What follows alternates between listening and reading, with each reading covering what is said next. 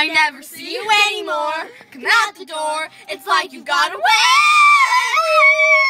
We oh, used to be best buddies, and now we're not. I wish you would tell me why.